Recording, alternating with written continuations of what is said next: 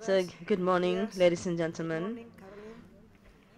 It's a pleasure to have you here in Santiago with us to, to, to have a conversation about territories, about food, about architecture, about urban, urbanism. So thank you very much. Thank you. Eh, Joan, muchas gracias por estar aquí con Joan, thank you very much for being here, and uh, we'd like to thank the organizers of uh, such a top event. Thank you for allowing us to be able to discuss and reflect esta from this corner of the Atlantic.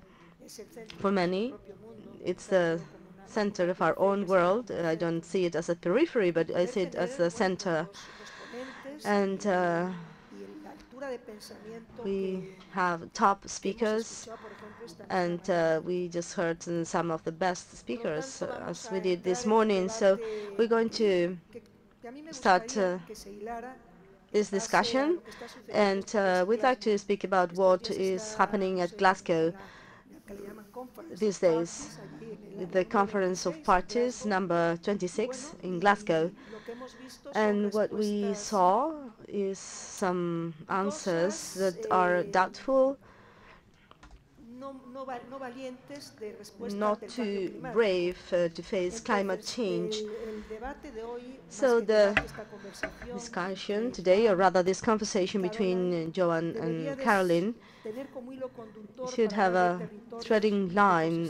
Mm, we should speak about uh, land, uh, desde la visión y territories, el diseño, desde la biodiversity, from arquitectura y el the vision of tener como hilo architecture and city planning. The threading line should be climate change. Presento a- I'd like to introduce Carolyn Carolyn y a- y a Joan. and Joanne. Carolyn is architect. Carolyn is an architect. eh, from the Cambridge University. Eh, ella fue también directora director of the London School in- of Economics in the Division of 2000, ella ha Cities. Since the year 2000, she has been researching into the relationship between food and cities. Actually, excelente uh, the author of an excellent uh, work, Hungry Cities,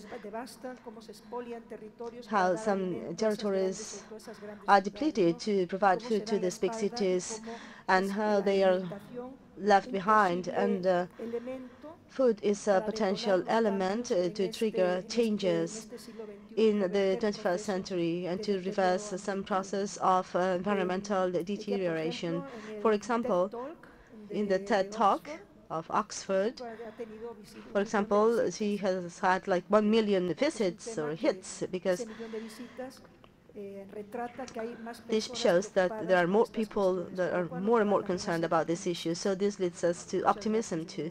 So thank you very much, Carolyn, again. Joan, Joan eh, bueno, es un- un excelente is an ya vamos a excellent escuchar decir de architect. Joan, él y What can I say about Joan and also his partner, Rick Batlle? He has uh, an office in Catalonia and they have developed many projects sobre todo han of construction, but uh, especially they have worked in many geographical areas trying uh, to converge rural and urban realities, trying to rechannel process of degradation in the territories. They have a, a, project uh, of the dump of San Juan, and to me, John, allow me to say that this is the biggest project de lo que se debe globally about what you should do, about how to esas heridas que recover se han infligido and to heal the wounds that uh, have been inflicted upon the territory. And Joan has uh, many awards, such as the Gold Medal of uh, the Higher Council of the Schools of Architecture of Spain, or the Mediterranean Prize to the Landscape in the year 2007, or the EU Award for Public Spaces. Tenemos a dos grandes- a dos grandes Mm, well, we have two great thinkers pensadores que van here, the great thinkers that allá, y que no se go beyond, and they do not del objeto estético, stay en el que just observing the aesthetic object. As architects, sometimes we stay there for too long and we do not raise our eyes to see what is happening in the world and we don't take into account the changes that are needed. And uh, so from our profession, we can do something to carry that out. So we're going to start. And um, in this dialogue, uh, I'd like to focus on some concepts that sometimes crisscross or mm, confuse us. We should continue to speak about territories as a synonym uh, of a physical land, uh, specific, or should we speak about uh, geographical spaces or a single territory, in the world, given the connection between them? This is a quote by the prestigious Brazilian geographer Rogério Haesbaert. We should speak more about concepts that show multiplicity, the potential links that express the complexity of the matters, uh, the territory, the lack of territory, or speaking about new territorialism. This is the first question to start this discussion, to speak about territories, to define these concepts. And maybe we should speak about, we should not speak about territories anymore. Maybe we should speak about just one territory, the world. Sorry, I'm just waiting for the English to catch up with your um, Spanish. Um, thank you very much. Yes, I, I, I, what I often talk about is the fact that we are entering a neo-geographical age. So in fact, in the last panel, we heard people mm -hmm, yes. talking about the fact that um, you know, we've reached a point where we can't sort of just assume that nature is infinite and we can just live our lives by throwing things away and it's all going to be fine. And we, we are confronting this new reality. Um, and I think for the last 200 years or so, we've been ignoring geography, you know, because basically with the Industrial Revolution, we had for the first time the wherewithal to you know, live anywhere effectively. To, I mean, my specific thing, as you said in your kind introduction, is about how cities have been fed through history and what it takes to feed a city. And, you know, before the Industrial Revolution, basically, the only way you could have a really big city was either to have um, an empire, you know, like, like Peking or, you know, Beijing now, and, and literally, you know, thousands, if not millions of slaves kind of bringing the food physically in, or, as in the case of Rome, to have access to the sea because the whole question was how you not only grew enough food to feed the city but how you moved it around. So when the railways came, uh, this changed everything because it obliterated geography effectively. Um, and this is when we really see, and I, I, don't know how long you've got, but you know, you see the expansion not only of cities, but also of their productive hinterlands. Um, so, for example, you know, the American Great West, which had been a grassland inhabited by an estimated 60 million bison and lots of Native American tribes, uh, was transformed in the space of a decade into, you know, the first monocultural grain field the world had ever seen. Mm -hmm. um, and so this, this is the beginning of the invention of cheap food, this, this complete illusion yes. that we can go on to talk about later. Um, but also, you know, the idea that you can just move, use railways to move the grain around, feed it to cows, which is a really bad idea. We can talk about that as well, maybe. Um, but it commodifies the land, effectively. What industrialization did is it commodified the land. You know, it turned territories into these uniform, mm-hmm. monocultural, food-producing regions. Um, and people were living increasingly in cities. So in a sense, they didn't really see this reality. Most people did not witness this reality. Um, obviously mostly the people who were unfortunately um, either killed or got rid of of this land. Um, you know, so I think, you know, the, last 200 years have been the period when we've really seen this kind of colonization of territories. Um, my sound sounds incredibly loud all of a sudden. Anyway, um, maybe I just take that off. Um, that's the thing to do. Um, the, you know, the colonization of territories for a purpose. Again, in the previous panel, people were talking about you know, the new economy, you know, and the fact that the economy is predicated on treating nature as if it comes for free, etc., etc., etc. So, I mean, these are all enormous connected issues. Um, and for me, food is just a beautiful lens for sort of seeing how they're all joined together because basically we all have to eat. So we're all kind of complicit in this uh, way of feeding ourselves, which we now discover is completely unsustainable, is destroying the planet. I mean, you mentioned climate change. I mean, I think again, the previous panel made the very important point that, you know, lack of biodiversity is arguably as, in, as it's going to kill us earlier than climate change. And of course, they're related anyway. Mm -hmm. um, but, you know, just, just treating nature as this kind of uh, canvas on which to sort of paint the externalities of our life is a thing that we now have to reverse. And something I would like to say, because I want to come on to talk about it if possible, is um, that what I think is we need is a, a new idea of a good life. Because I think the good life that we've inherited is a very really 19th and 20th century idea of a good life. And I think there's a, there's a core of the problem in there. Okay. So, Joan? Uh, bueno, yo no soy un teórico. Well, I'm not a theoretical person, so what I can say are insights uh, after a long practice. Very often my work is more connected. I don't know if you remember that uh, film, that Tarantino's film, in which uh, there was a character that was called Mr. Wolf, and when there was a, a bloody crime, he'd get there and uh, he would uh, sweep the, everything and clean up, and he would take care of the course. And uh, so the landscape managers are like the Mr. Wolf or the social democracy, because we are somebody that uh, comes here to solve problems that were previously created. So I have worked for many times solving issues, and then you become to understand Mm, what the actions of your predecessors should have been, so you wouldn't be necessary. So basically, this is connected with what you said, the concept of the territory. So if you check what territory is on a dictionary, territory is a land that is a property of somebody. And the dictionary states very clearly that the owner is forced to maintain that territory. This is something we forgot. We believe that territory doesn't belong to anyone, therefore we dispose of our garbage or the rivers or the affluents, the tributaries, uh, we, we cover them and no, the owner and very often the owners are not private. Usually they are public because uh, private owners are, demanded more by law. But um, the public owner apparently has passed the law and uh, didn't have to follow that, and they just uh, the, the, territory, and this cannot happen anymore because the territory is the ally of the city. In the previous panel, uh, the person who was sitting here, Salvador, said that those millions of people that are going to migrate, where will they go? Well, we all know they will go to the city. They will not go to Teruel. They will go to Madrid, Barcelona, to Zaragoza. They will go to cities. And those cities that will grow will have to be well connected with the territory.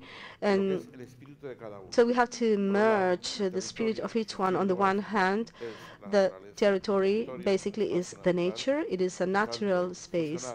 Therefore, we have to merge uh, the nature with the values of the cities. City versus the countryside is the place of freedom.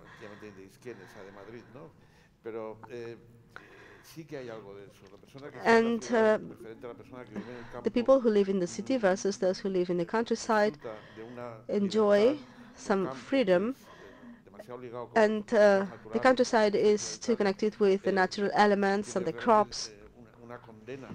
So you are like damned for living in the countryside very often. So we have to really think about that before we criticize it. Ashton Kunghard has uh, mentioned in his exhibition about the countryside. So we, we, have to merge the city of the free man with uh, the countryside and the nature. I think it's the basis of our work. And I think it's the only theory I have uh, structured after my years of working. If we don't understand that the basis of our work is to transform cities into denaturalize, renaturalize spaces with better air, with uh, better vegetation, better water, with uh, consumption of uh, biophilia, as that man mentioned. I think that biophilia in the cities is extremely important. Otherwise, we will be doing poorly, and actually this is how we are doing now. Well, you have talked about uh, the, the, core of the discussion, the city versus the, the countryside. This is something that is still existing, city has always been conceived as a space for the creation of ideas, a civilized space, and the countryside was just the supplier. It, it, it is like a relationship between the prey and the predator. And uh, so I'm going to speak about uh, the book Hungry Cities, and Carolyn talks about an old English song from the 17th century, which is called The Poor Man Pays for All. The Poor Man Pays for All, and it says something like The parson prays for all, the lawyer pledges for all, the plowman pays for all, and feed for all. Mm-hmm. es, decir, es decir, el, la gente del campo ha sido el eterno proveedor de alimentos. So the people from the countryside have been the eternal supplier of food, the exploited part, the colonized part, but uh, because we need food, we need energy, the big cities need energy and food. So this is the second question that I have for you.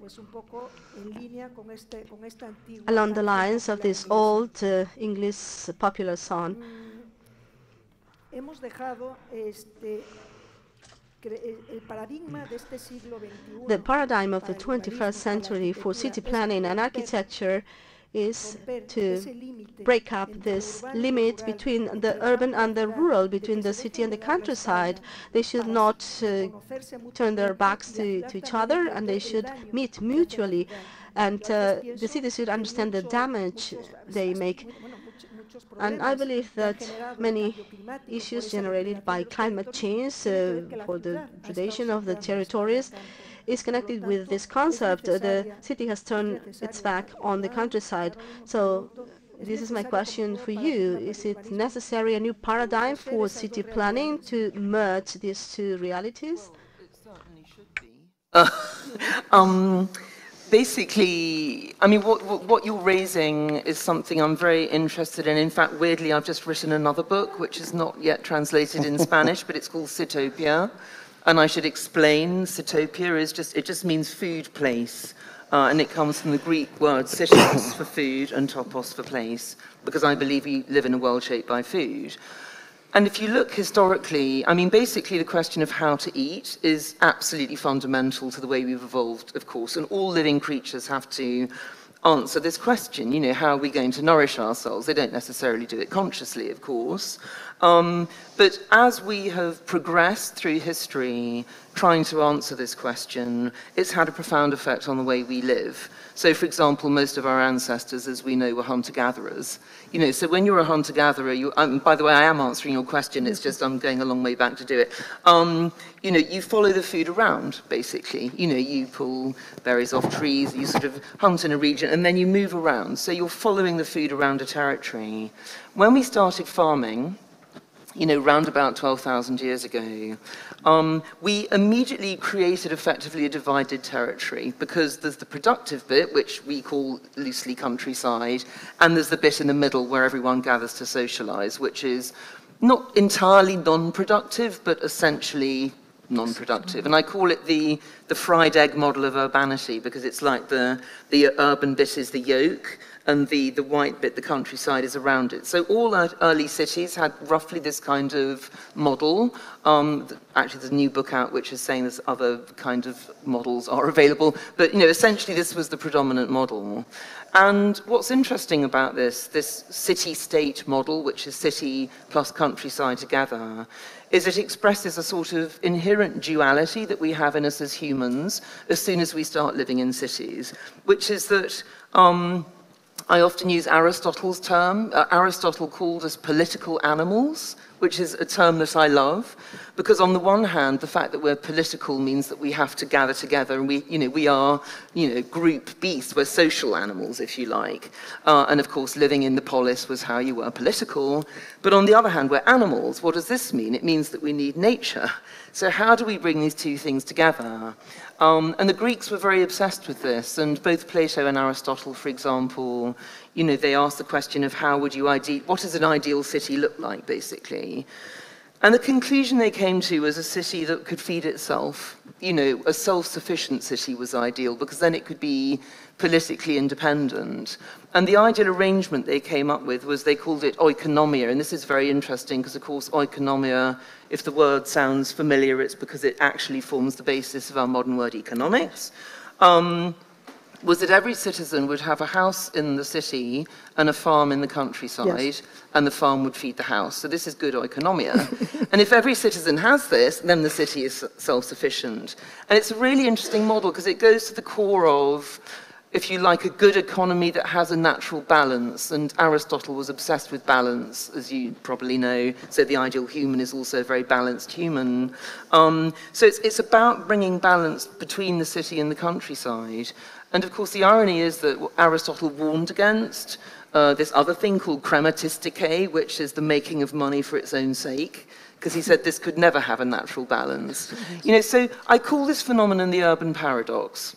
And the urban paradox is that as you know, we move into cities, as John was just saying, you know, more and more people, we, we, we get further and further away from this other essential part of our lives, which is nature you know, and our need not only for nature in order to feed us, but also to sustain us in other ways. I mean, there's all sorts of studies coming out now that we, you know, if you're surrounded by greenery, you recover much quicker from, you know, an operation and so on, that we actually respond directly to the natural world. And the paradox is there's no ideal answer to how you organize it, but absolutely, I am arguing for what I call, by the way, and I'm going to stop talking in a second, landscapes for human and non-human flourishing. This is what I think we need to be moving yes. towards. And it's, it's about bringing society and nature together somehow. And it can happen at any scale, and it can happen in any shape, but that's really where my head's at. I think that's where we need to be going. And as I say, if only that was a sort of a, a global model, because I don't think it is at all at the moment. But again, we can talk more about how we can maybe make it more. The vision of a good life I'm talking about, by the way, also is about how we bring society and nature together, which I don't think is the predominant model of a good life that we have at the moment. Okay. Yo, yo estoy muy contento de compartir eh, I am very happy to share this panel with Carolyn because um, we work in many projects that just uh, stick to the specific field of the inherent values of, of the land, uh, the, the, uh, the vegetation, and she adds another aspect which is food. And uh, paradoxically, it is really important. For example, yesterday we were talking, and where I used to live uh, in Barcelona, in a district, there were cows nearby, dairy cows. And we had rabbits and chicken in our house. And sometimes uh, mm, uh, would go in the middle of Barcelona, and my grandfather would buy artichokes there. So this is something that really many people consider horrible. Many, many progressive friends of mine from the transition. And uh, you can have a, a dog and two cats, but you cannot have a chicken or a rabbits because this seems to go against uh, the hygienic regulation and and the artichokes from El Prat are totally polluted today, and you cannot sell them if they don't comply with the regulations. So she, she has touched upon a, a, key issue. We try to merge the city and the countryside, but we only deal with aspects connected with the landscape. And, well, they are crucial, of course, but in a way, mm, I think that if uh, that lady and I work together to work with the city, I think that it will have more value. That is why you are both here. Ahí seguimos con, con un orden así para, porque entraremos en el tema del diseño de las ciudades. And uh, well, now we are going to, to speak about the design of cities on the basis of food. Uh, one question for you, Joan. After this pandemic, after this sudden time we've had to experience, and in big cities, people has had to shut down in private spaces without the possibility to enjoy nature. Do you think that people are returning to, to nature? In the 19th century, Thoreau, in his book, uh, proposed, uh, well, there were industrial cities full of smoke and chimneys, and he proposed uh, something about uh, living in the forests. So, do you think that uh, people are following Thoreau, this romanticism about nature of the 19th century? Yes, there is, and I think it is a mistake. Because I think that uh, the pandemic, and I think that we've all experienced that at home, has proven that we don't actually have to leave the cities. It has revealed the flaws of cities to fix them. And the pandemic taught us that our living space is our home or the balcony because outside everything was a disaster. But if we rethink the cities, so our environment is not just our house, but a district in which uh, we could have practically everything, I think we would understand that when emergency situations emerge, as it happened in the past, I am for districts. I am from Sants, a district from Barcelona where you had everything. Sants is uh, at the city center. Uh, it's like three kilometers away from the city center of Barcelona. And there was a subway that uh, connected Sants with Barcelona, and there were two trams, 56 and 57. So I never went to Barcelona until I turned 12. I didn't need that. Uh, I had to go there because I had to go to a doctor that lived in the Ensanche of Barcelona. So crossing the, the Plaza de España of Barcelona, and then you get to quote-unquote Barcelona because historically there were bureaus there. It was like a customs office, and you had to pay a, a toll to get there. So in my district, I had everything. I had a school, there were factories, uh, there were parks, squares, everything. At that time, but right now, districts have nothing in Barcelona. There is like a supermarket. You have to go to L'Illa to go to the supermarket, and uh, the shops of the districts are are not supplied. And uh, now we have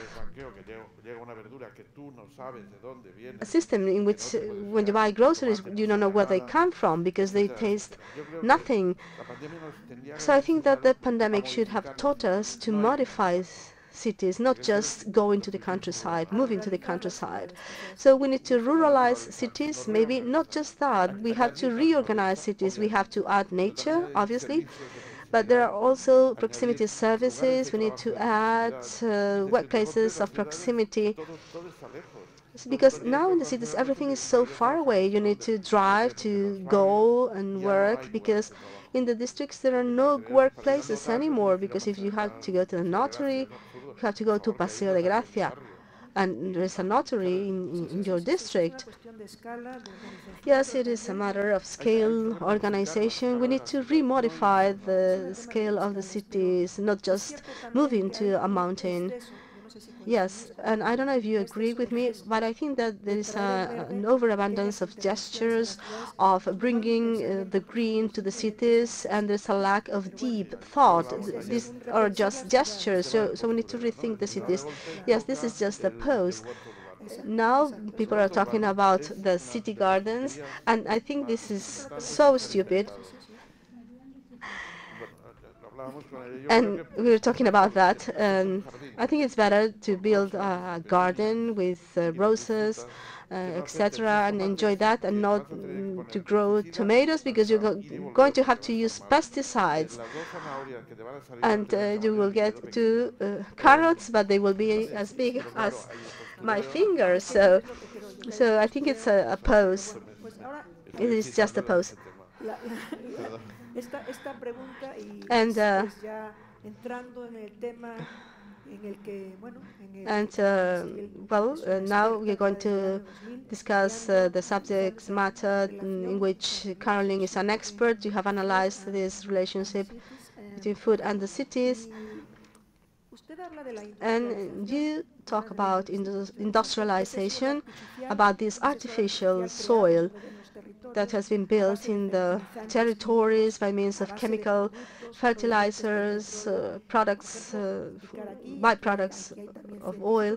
And here there are scientists. 50% of the atoms of nitrogen we have in our bodies are artificial.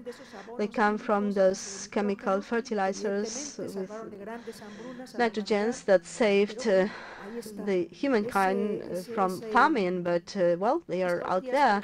And in recent days, in the COP, in the, the COP conference in Glasgow,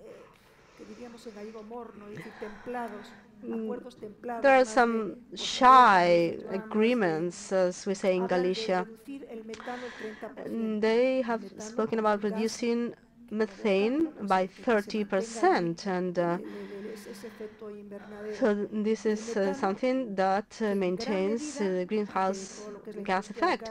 And methane is produced by the cattle, especially extensive cattle raising. And Brazil is an example, and, this generates a big deforestation. So uh, th- this is a vicious cycle. So this artificial soil that is required to feed the cities, and this is my question for Carolyn, and the future of the world and therefore the inversion of the deterioration of that carbon footprint that we have inflicted upon the territory is only possible to, to do that by means of food. So this is my question. So how can we do it? What are the urgent measures, realistic measures, too, that you can implement from now? Question to what we were talking about before, interestingly, because they are linked, of Okay, course. And yes, it- it's a food is a great connector. oh, so yes, food yes, always course, links yes, everything together. So I'm very, very interested in this conversation. What industrialization has done is it's dehumanized life. It's strip the human out of everything that we do. So basically, you know, I mean, Juan was telling me last night, you know, he goes to his local market and the lady there knows him very well and she says, oh, try the sardines today, they're very good. You know, this is kind of, it's life on a sort of microcosmic level. It has the same sort of structure as healthy soil. You know, a, a healthy society resembles healthy soil. It's living, it's, it's diverse, it's complex, it's, it's about all sorts of interactions going on all the time. Now, the thing you to, so, so, and, and basically, um, I mean, when you were talking, Joan, I was just thinking, you know, the 15-minute city is, it's quite a sort of, an idea that's gaining a lot of traction at the moment. For example, Anne Hidalgo is talking about it in Paris. What does this really mean? It means bringing back the life, you know, the, the sort of small-scale filigree life that used to be what an urban neighborhood was about. And there's a direct analogy in the landscape. So basically, um, you know, this model, this paradigm of, you know, spraying chemicals on the ground. Uh, and by the way, I just have to say something. I'm very passionate about, the, I'm passionate about all of this, but sounds like a cliche, but, you know, this, this thing of how are we going to feed the world? I have to object strongly to this formulation. Who is we? Who is the world? Does the world want us to feed it? And isn't feeding things you do to animals rather than humans? So it's just a a complete wrong formulation, and it sort of highlights for me part of the problem. The problem is a mindset problem. Yes. You know, the idea of, of growing this thing called cheap food, which, by the way, doesn't exist, and I also now have to say something else, which is that if you think of what food is, food consists of living things that we kill so we can live. Okay, so how can this be cheap? Hmm. Food is life. So these, this is why these things are all connected. what is a good life? This is the question we have to be asking. Okay, a good life is one where I can go out of my door, I can go to my market seller who knows me well, who says, buy the sardines today. But also, if I live in the countryside, I can grow food as I would like to grow. I mean, there's a very interesting example, by the way, to my mind, one of the greatest books written in the 20th century. And a lot of the books that I find most inspiring now were written in the 1970s, by the way. I mean, you know, we've known this stuff for a long time. But E.F. Schumacher's Small is Beautiful, if you know this book. Mm-hmm. I mean, I don't know how much, I'm sure many people in the audience do. It's a brilliant book. But what he talks about is the fact that, you know, we basically think we've solved the problem of production you know, because industrialization gives us this idea and you can just, you know, externalize the true cost of life. But he tells a story in that book about a farmer who was growing uh, industrial crops for sale to the city and uh, he was sort of saying, well, aren't you worried about what it's doing to the land and everything? And the farmer said, yeah, I'm absolutely terrified. I don't want a farm like this, but nobody will pay me to farm the other way. And he says, by the way, I don't eat this stuff. I eat organic. I wouldn't go near this food. You know, so it just shows you, going back to my point about economy, the, the, original meaning of economy or economia was actually about the relationship between us and territory, us, you know, the human and the landscape, and how we can come to an accommodation between those two things. So the kind of industrial model you're talking about has no future. But there's a huge amount of incredibly powerful vested interests in pretending that it's the only way, quote unquote, we can feed the world. You know, do not trust people who talk in this language. You know, and what we need is the act, a, absolute opposite. We need to rehumanize, we need to revalue, put food at the center of our economy. Food is the most valuable thing in our lives that we have to work to produce. It is life itself. How can we be treating it as cheap?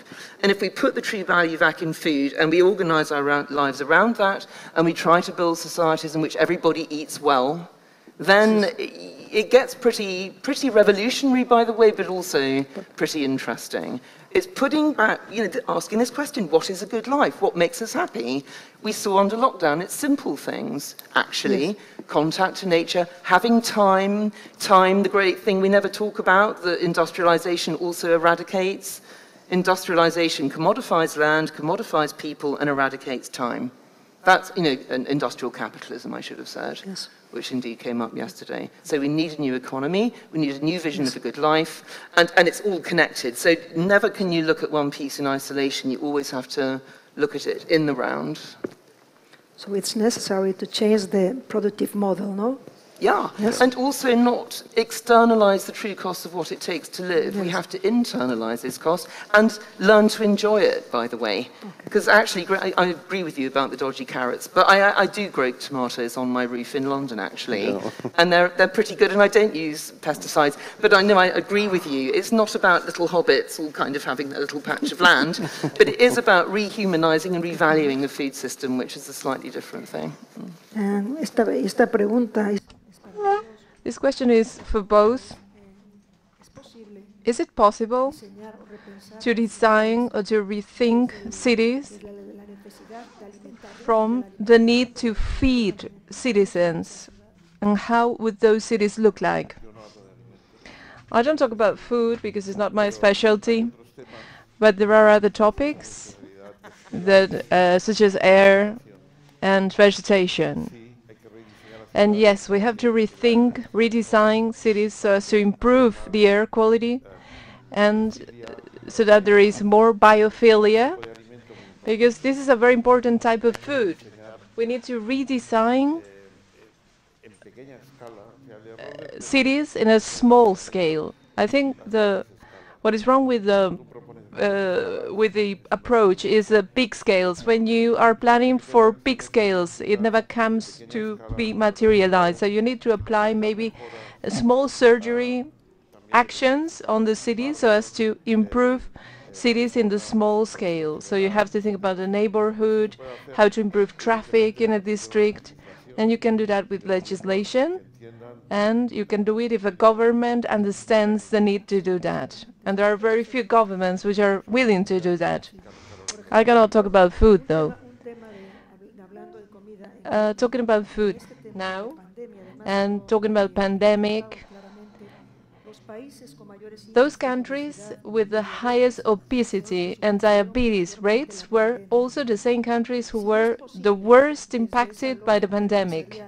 So from the entrepreneurial point of view, I mean policymakers, uh, could they somehow uh, pass legislation so as to improve health? I mean, could they perhaps make a change so as to modify the, the predator model that we have with food and the production of what you call Frankenstein food, as you say in your book? So would it be possible for policymakers to, to force the change or to make uh, quick decisions? Um, politicians are terrified of food. Um, why are they terrified of food? Look at history. You know, basically any politician who took control and responsibility for feeding people normally ended up quite badly. And I, I just give you um, Louis XVI as my prime example. And of course, Louis XVI was a victim of geography because Paris was, a, was landlocked effectively. It didn't have access to the sea. It was very difficult to feed. The king had to take responsibility. Uh, he was called the baker of last resort. Uh, an Icelandic volcano went off. There was a series of bad harvests. People blame the king. We know how it ends. So when, I mean, this is part of the problem. When industrialization came along, am I talking too fast, by the way? I don't know. I'm, i feel I'm just going, anyway. Um, it sounds like that. Spanish sounds like that. Anyway, um, You're talking um, no, but when industrialization came along, this is the reason why politicians were so happy to cede responsibility for feeding people to the food industries, because, you know, th that's the, was always their biggest and most horrible task, was, was feeding people. And of course, nobody likes being told what to eat. I mean, I was listening literally last night to an English uh, ex-minister talking about, you know, being asked, would you would you uh, be happy to tell people to eat less meat, you know, to or to have a meat tax? And she said, no, absolutely not. You know, I, I couldn't possibly, you know, sort of impose this kind of uh, restriction onto people. But of course, you know, the market does not create a good diet the market creates actually effectively what we have at the moment, which is a lot of highly processed food, a lot of branded food, an incredibly consolidated food industry. I mean, if you, I don't know whether any of you know that amazing chart yes. that shows, you know, every brand you've heard of, like kind of Coca-Cola or I don't know what the Spanish brands are, but you know, cornflakes or whatever it is, they're all, you know, part of a bigger brand, part of a bigger brand, part, until there's only about nine companies that basically control the entire global food system. Now, what politician can stand in front of their electorate and say, I don't control the food system, you know, if I'm going to do anything, it's going to make the food more expensive, by the way, and, oh, oh by the way, don't eat meat. You know, no, nobody is going to want to go there. So we have a problem. We have a massive problem. Yes. I think the only way this is going to happen is if civil society decides, we decide, we demand that the, our governments intervene in, in the so-called free market. Again, in the previous panel, they pointed out the obvious point that there is no free market. Um, but also, it can't just be stick. It also has to be Joan's dodgy carrots. You know, there has to be pleasure in this as well. So this is why, um, you know, my thinking leads me naturally towards land reform, and it leads me naturally towards tax reform. You can't make food more expensive, which is what we actually need to do, and you can't break up the big food industries whose entire business model is predicated on trashing the planet. Um, without giving people something in return. And what I believe they need in return is access to land. Uh, you know, we need more farmers, not fewer farmers, access to land, uh, access to shared spaces like community gardens, but at a bigger scale. So again, restoring, um, this is coming closer to, yeah. and by the way, thank you for the offer of a, a, a business partnership. Yeah. I mean, we'll have to talk later. but anyway, um, you know, uh, bringing, as, as I say, giving people uh, you know, Amartya Sen, you know, he talks about sort of a good life being about agency opportunity, you know, and, and if we're going to try and create a good life that is not predicated on just consumption and just throwing things away, but also pleasure and joy, then there is nothing more fundamental than making things. Miriam mentioned it in, in her, uh, you know, session yesterday. We can't just be consumers, we also have to be producers, we also have to be makers. And food is just, it's not the only thorny subject, you're absolutely right, but it's, it's, it's just the most obvious one where we can get actively engaged. And as I say, we have to demand politicians get involved, but they won't do it unless we insist. You know, this, I think, needs to be some kind of a political movement from the ground. Perfecto. Ahora hay una pregunta que, que está, es, bueno, There is a question which goes uh, particularly to Joan, who is uh, not a theoretician, but he's a great architect who has carried out huge projects. So there is a, an issue around food production in cities, which has to do with waste. I mean, food waste in cities generate between 8 to 10 percent of uh, the greenhouse emissions. So according to the UN, according to the latest figures, between 25 and 30 percent of all the food in the world is wasted, thrown away. So this is also part of the urban agenda, how to recycle food. So, Joan, would it be possible to take into account the, the, the issue of recycling in cities? In Carolyn's book, she talks about some sausages from Tottenham, right? Sausages that were made with the, with the waste from London food. So that was a way of closing the, the cycle the cycle of food, so how to recycle food waste. Obviously, you cannot do that right now, but the question to Joan is, uh, how could we recycle food in cities? How, how should we do it? Now, they are not thought. Taking that into account, however, apart from uh, restoring the former Barcelona garbage tip, we also built um, Deixalleria in Catalan. I don't know what that is. A place where, okay, like a waste treatment plant in Barcelona. Uh, so we built it so as to be able to close down the garbage tip. And this uh, waste treatment plant had several levels. One of them was cremation, composting, uh, separation, drying, etc. So we built it with the thought that Barcelona is going to keep on growing. Barcelona is actually decreasing its number of inhabitants. But in a couple of years, the Barcelona popu population was remaining stable, and then in 2008 the waste treatment plant decreased its activity. With the 2008 crisis, people started reusing stuff at home.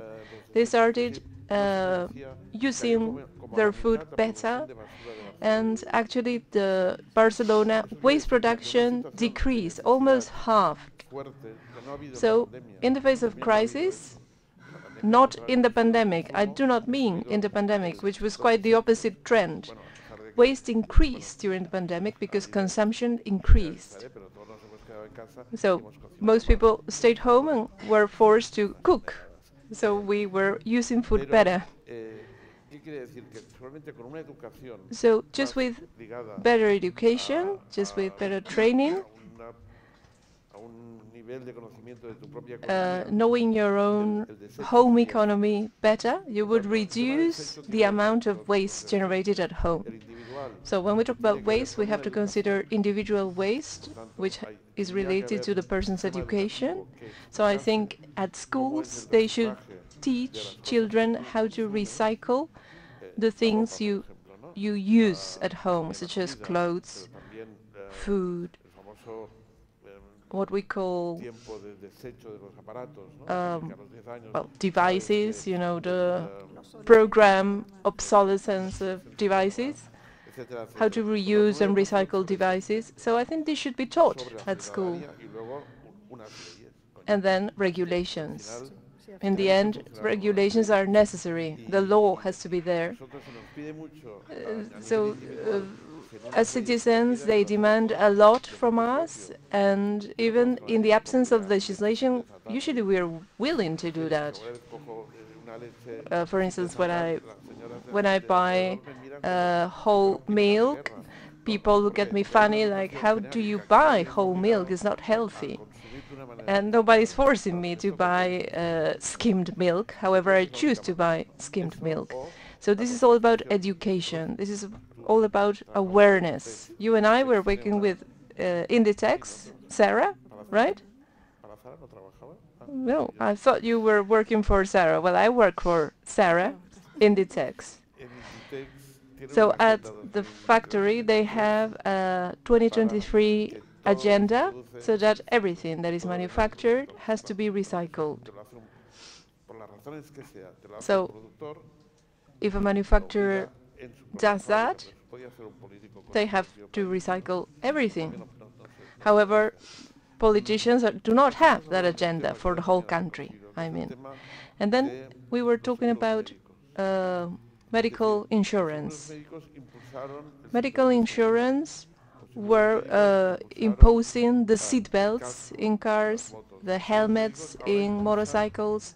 Now medical insurance is pushing for uh, increasing the taxes on uh, sugary drinks. So sometimes medical insurances are lobbying for change. So maybe we could do that uh, in order to improve health.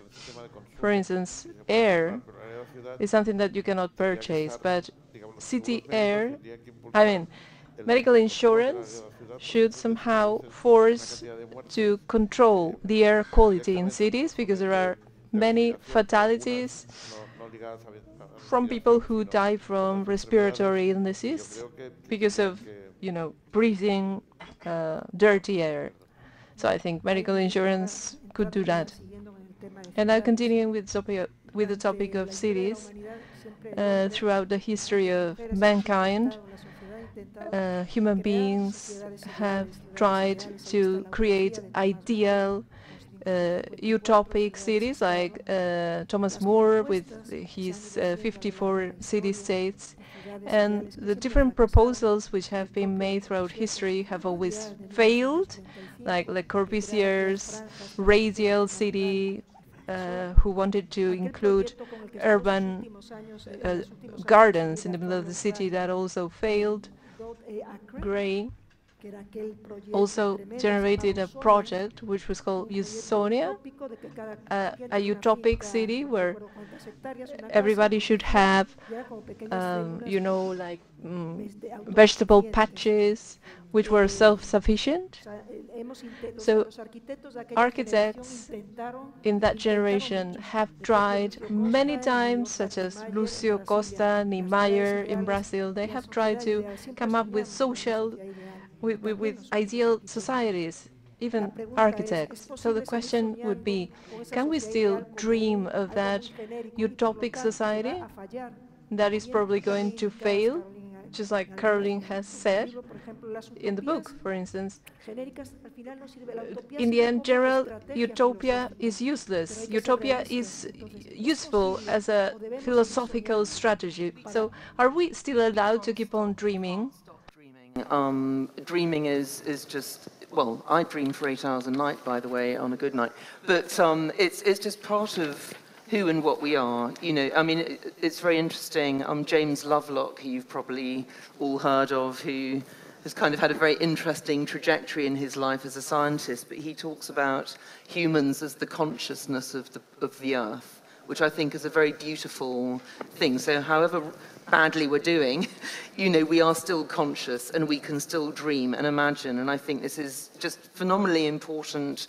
You know, if we lose this, we lose everything. But by the way, the reason I invented this word Sitopia and I went Greek with it was precisely in order to, because, you know, by that time I had discovered that food shapes everything in our lives, our bodies, our minds. You know, by the time you're about 25, there is no atom in your body that you were born with. It's all made up of meals you've had.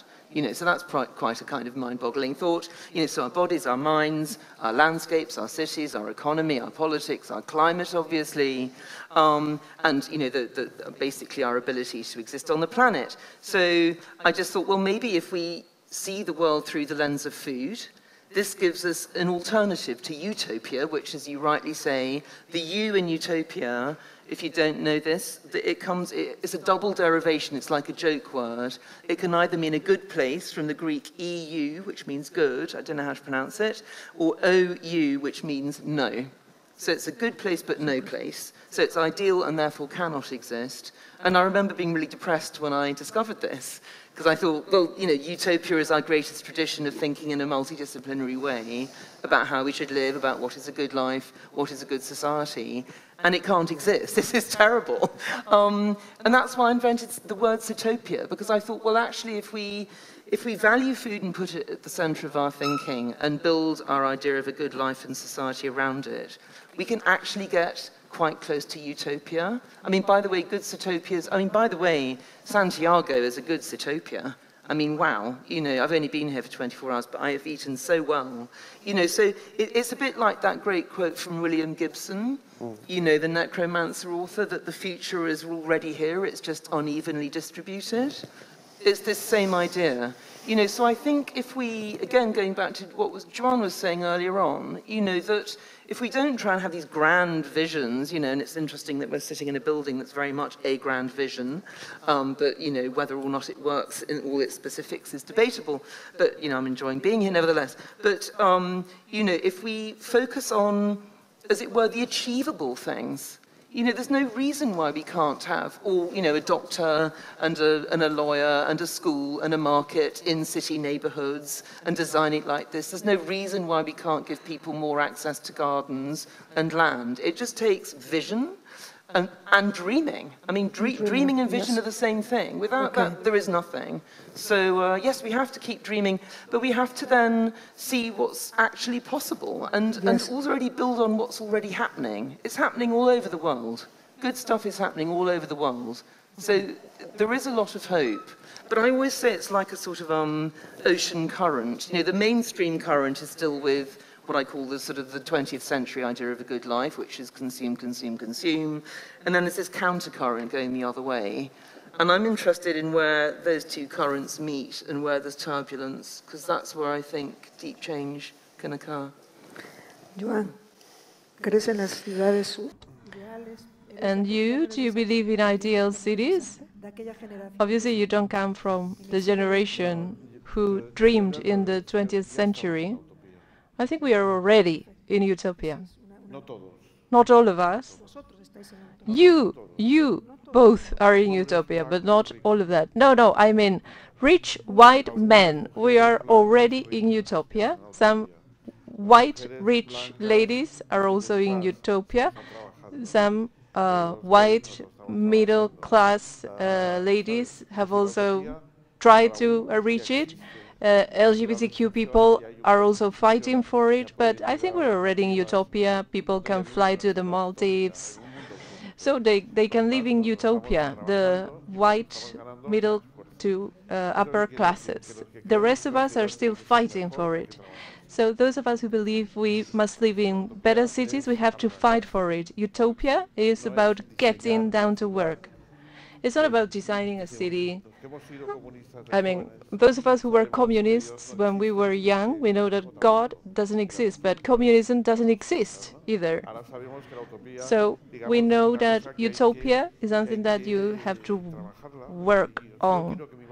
You need to get dirty, uh, fighting for it. If you want a good neighborhood, and if I get a commission to build a new park, instead of, uh, you know, paving the park, I'm going to leave grass, and I'm going to put a drain so that the water goes down to the aquifer. I'm going to plant different tree species. I'm going to uh, make uh, insect hotels inside the neighborhood so that bees and butterflies fly in the neighborhood again. I want to have butterflies in my neighborhood. But that is utopia, isn't it? Eduardo Galeano was writing about the utopia is in the horizon, but as you walk towards it, the utopia walks away from you. So they said, so what's the use of moving to utopia? He said, well, the purpose is to walk, to keep walking. So architects like you can make fantastic projects or also theory about food to help us understand that food is, is essential to configure uh, human territories. That is something, that it, those are reasons for hope for those who are here today.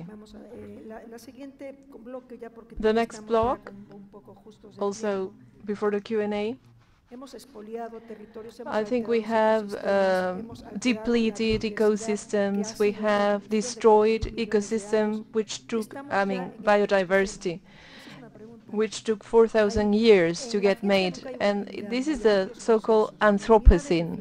You know that scientists never agree, but some say that we have generated a new geological era, which is called Anthropocene. Do you agree with that? And also following the thread of the environment and uh, linking with the previous panel. Carolyn, do you believe this is the Anthropocene? And also Joan? Uh, okay. And I think actually the debate is pretty much over. I really want to bring back, uh, build on what Joan just said about we in the white privileged West are already in utopia. I think it's a really, really, I'm so glad you said that. It's such an important point. Um, and I always talk about a good life from the Western point of view because that is my, that's what I, where I am and how I grew up and what I understand. But I try to do it in a global context because actually what's happening is the world is looking at what we had created in the 19th and 20th centuries and thinking this is a good life. You know, and again, it came up in the panel yesterday. Um, about when we were talking about sort of technology and design and, and the, the, the value of culture.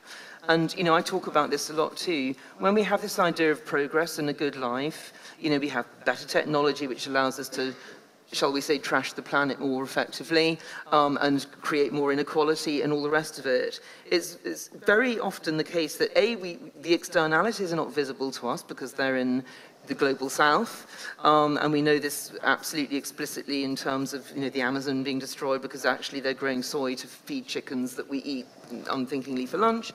But on the other hand, you know, uh, the good life that we believe we're leading is not a good life because a good life is only good if it, if it doesn't have externalities, and our good life has appalling externalities. So actually it's not a good life. It may appear to be, but it's like the, the, the front of the theatre facade, and we never see what's around behind.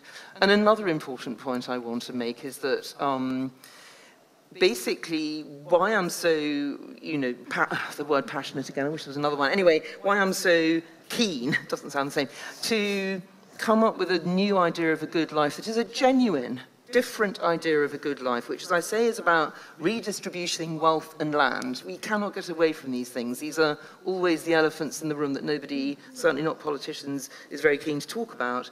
It's mostly between the global north and the global south, actually. You know, and, and what I really would love to think is that somebody, you know, 15-year-old living in Africa now doesn't think the only way of leading a good life is going to the city, getting a job, getting rich, getting a car. You know, there's some other vision. And it is. I mean, I know it sounds, everyone says, oh, you want to go back to being medieval peasants or whatever it is. No. But I think we need to think of what a good life could look like. And by the way, i am slightly becoming an anarchist. I don't know what you think about this, but you know, I mean, the anarchist actually, I mean, who hated the capitalists as much as the communists did, um, at least, but um, they were suspicious of communism as well. But they had this vision of a good life, which is actually instead of saying, you know, one person has to be a wealth creator and therefore, you know, in Adam Smith's factory, they have to just put heads on pins all day because that's creating wealth really efficiently. But am I having a good life? No. no. You know, or do we have this completely different conception, just step away from this ludicrous economy and move over here and say, how about if I grew my dodgy carrots in the morning, made a bit of furniture in the afternoon, and maybe wrote some poetry in the evening? This is a good life. Okay, well, how can we design an economy that leads to that and not to this other thing? What is wealth? What is value? What is good?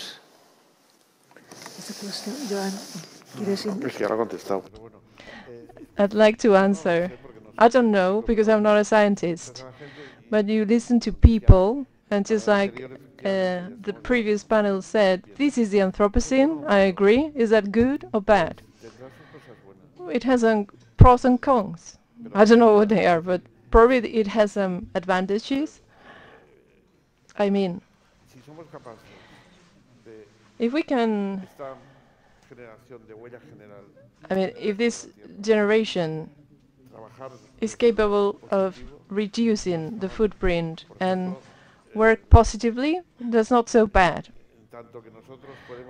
Uh, as long as we can work with nature to turn situations into positive, that's fine. For instance, in Brazil, when they get rid of that Bolsonaro guy, when the soy uh, farmers stop doing that, st stop growing soy there, we can reforest the Amazons because we know how to do it now. We have the knowledge. So just like we can destroy, we can also rebuild, reforest. So it's not so bad. If we can reverse the situation, you mean? Yes, I mean, my partner knows more about that than me, but he says, we have done it wrong until now. And this is something that we should remember. I mean, the, the plan I drew last night is wrong, so today I'm going to start again. So the decision I made yesterday was the wrong one, today I'll make the right decision. This is what we have to do. Yes, and if the climate is changing, we should change too. But we still don't know how the climate is going to change. Exactly, because scientists do not agree. Just what they said about the impact of climate change in Galicia. There is not warming, but cooling. Okay, so we're going to open the the floor to the audience for some questions. We have two great thinkers in the panel. Uh, we have listened to some deep thoughts, and so time passed so quickly, Joan, Carolyn. So we're going to briefly open the floor to the audience. One question? Good afternoon. I want to address a question to both of you. Maybe it's a bit complex. Let's see if uh, maybe you, you can answer. So the first part has to do with a topic that we are dealing with in architecture in this decade, which is the feminist architecture and the uh, gentle architecture for people with disabilities. And I think you mentioned that briefly, which is the fact that architecture and design should be kind to persons with diverse abilities or disabilities or those who have relatives who live with disabilities. We know that, you know, as architects, it's hard for them to, to go about their daily lives. And the second part of the question has to do with a topic that I'm sure Mrs. Táboas is also uh, familiar with, which is the depopulation in Galicia. So what do we do with those deserted villages? What can we do with those abandoned uh, small towns? In the 90s and in the 2000s, there were many plans to tackle that problem. So how do we transform those deserted villages in Galicia into something else? Thank you very much and congrats. Carolyn Joan about uh, the so-called gentle architecture and disabilities. I don't know if you know that it's something that is a consequence of the Vietnam War.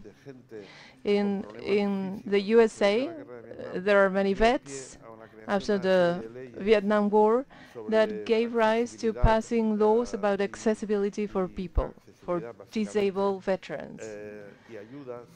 And so uh, people with disabilities were receiving grants, etc. So uh, when there is a very sudden emergency, usually there are solutions that try to patch that problem.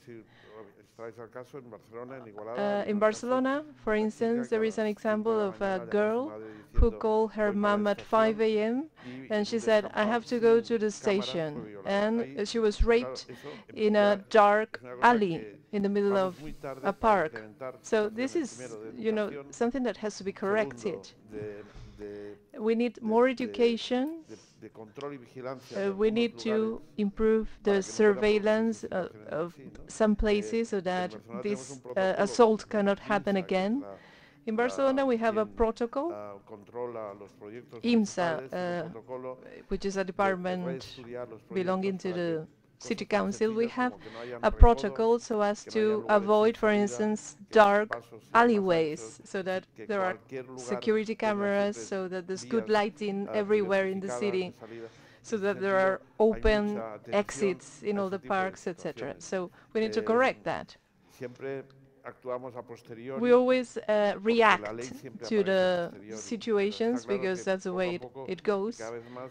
But I think that gradually people are becoming aware of those problems which are very serious. I mean, I could take your second question about these abandoned towns, which I find really, really fascinating. Um, I'm listening to myself, but I, um, I think something really interesting happened during lockdown you know, people discovered they could work from home, which meant work from anywhere. Um, and if we think about the old uh, division between city and country that so many utopian models were trying to address, uh, including Ebenezer Howard in his Garden City, who explicitly talks about um, what he calls the town-country magnet.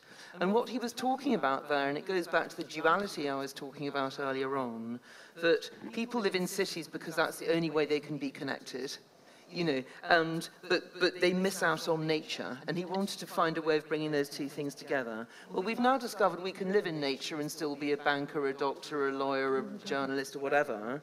This, to me, is transformative. And I think we will see this. We will see. And by the way, I'm, I'm, I'm half thinking I might try and do something like this myself. Probably not, you know, buy an entire abandoned village, but, you know, move with a group of people to somewhere and actually just lead a life, you know, start a, start a community. It's much more possible now than it's ever been.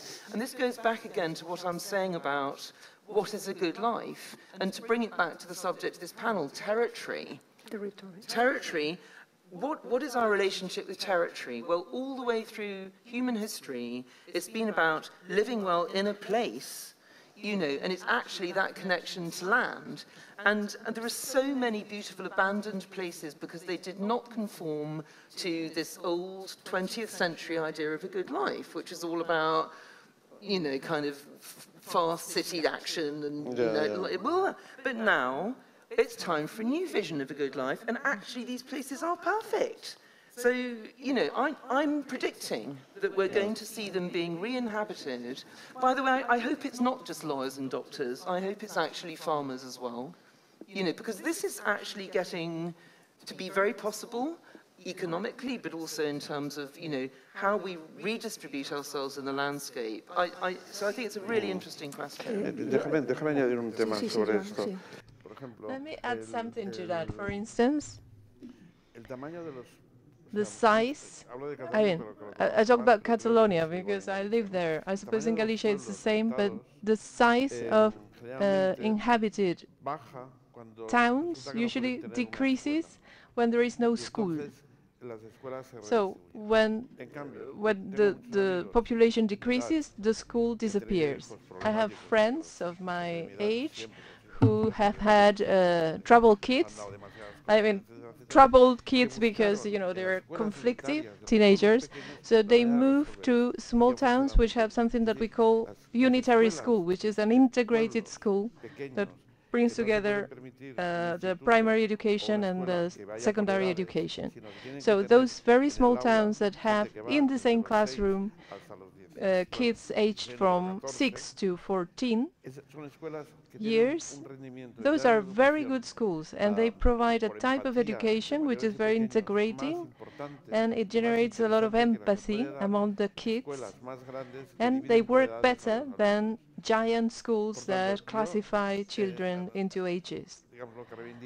So I would advocate for not making schools disappear.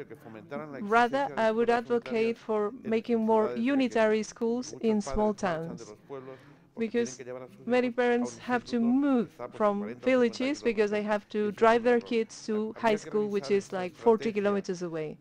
So I think we need to revise this strategy of schooling and school distribution.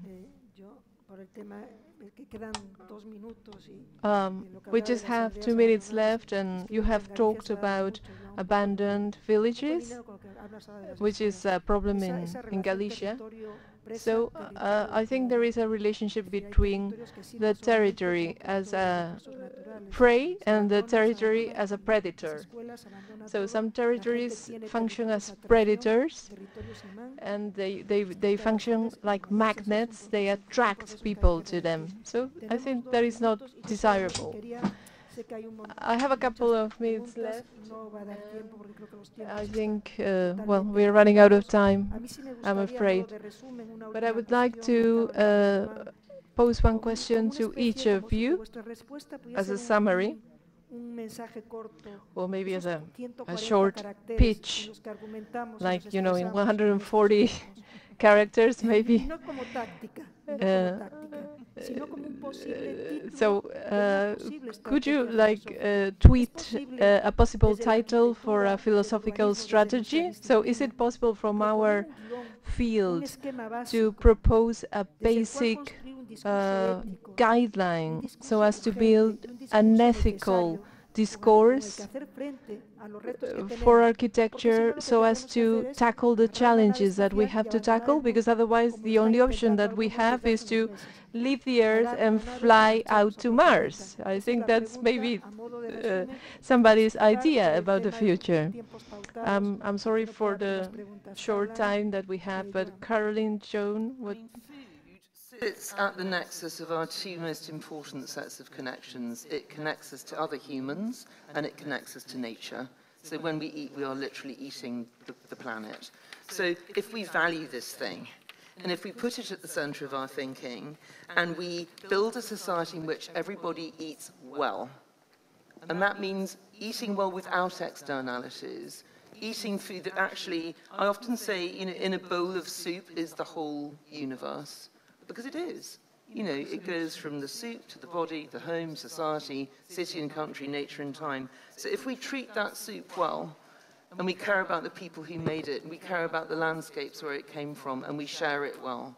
We can build a Sitopia that's very close to utopia. Okay. This is a long tweet. This is, this is, this is, that was a long tweet. The tweet is a tweet is 100, 140 characters. Mine is very short. Joan, es el tuyo. Sí, pero yes, con más gente. but with more people. Not with, not just with architects, with more people. Multidisciplinarity. Yes, I like that. I like that message because sometimes we are too self-centered. And we don't understand that this is such a complex mission that we have to, I mean, all of us had to get on board. So it was so good to have Carolyn with me. Not, not me, she, she is important one.